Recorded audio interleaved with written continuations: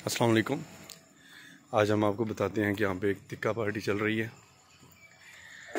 जिसमें मेज़बान है जनाब मेजर वसीम साहब और मेहमान है जनाब ये हैं हमारे शेख सजाद साहब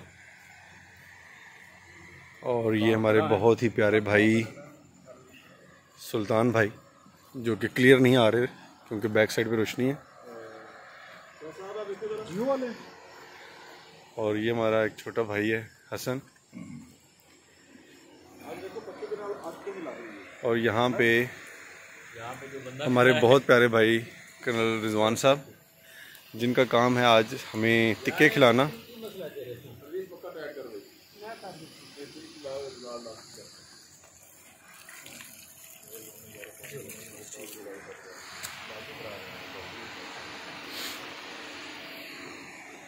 वह ज़रा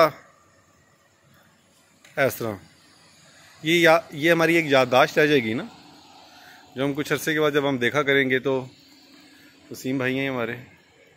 यार मैं नज़र नहीं आ रहा ज़रा। मेरे पे फोकस करना।